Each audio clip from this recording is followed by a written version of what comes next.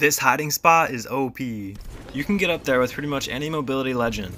I have so many more great spots to show you guys, so be sure to hit the plus. And make sure you check this one out next time you're at launch site. Peace.